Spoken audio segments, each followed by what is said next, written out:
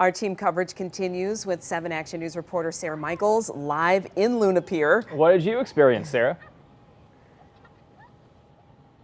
Very similar to what Carolyn was saying. It was a surreal and spectacular experience, you guys. You really do just have to be here and have that moment where everything gets dark and eerily quiet, except for the crowds here at Luna Pier. So if you look at the beach behind me now, it's pretty empty, but the less less than two hours ago, there were hundreds of people on this beach. I want you guys to take a look right now at a time lapse that photographer Chris Jones was able to take Right here you can see, so you just saw we're live right now how sunny it is. You can see how dark it is and then look out on the water of this time lapse. You can see we got reds, oranges, yellows. A bunch of the kids were saying, look over the water, it looks like a rainbow.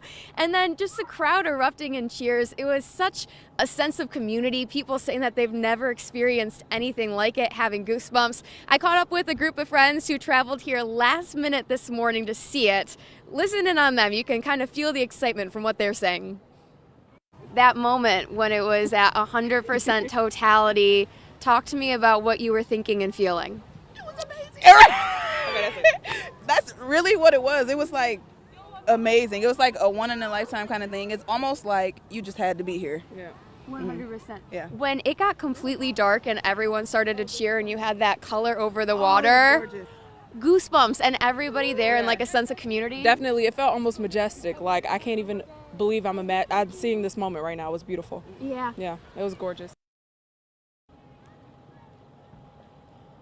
Absolutely majestic. I loved that. I feel like that describes it really well. So, another big concern here in Luna Pier was that there were going to be too many people who came out. The entrance and the exit ramp to town right now is under construction, but we did speak with the police department and they told us that the day went great. There weren't too many people, there was just the right amount for a majestic experience in Michigan today, you guys. It was really amazing.